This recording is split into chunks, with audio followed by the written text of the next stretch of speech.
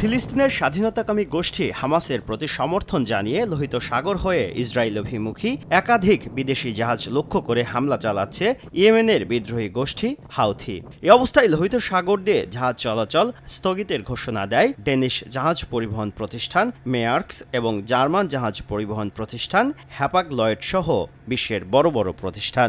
এতে বিশ্ববাজারে তেলের দাম দুই শতাংশের মতো বেড়ে চলতি মাসের মধ্যে সর্বোচ্চ পর্যায়ে ওঠে।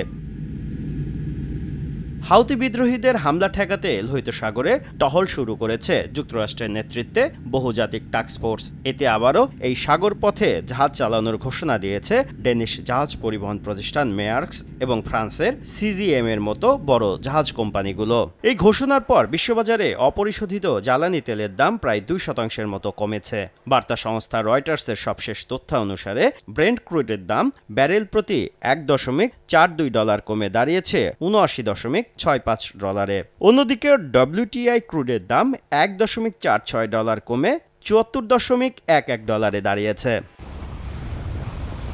তেল ও তরল গ্যাস পরিবহনে বিশ্বের গুরুত্বপূর্ণ নৌপথগুলোর মধ্যে লোহিত সাগর একটি। এই পথে প্রচুর পরিমাণে ভোগ্যপণ্য পরিবহন করা হয়। শুভ খান সময় সংবাদ।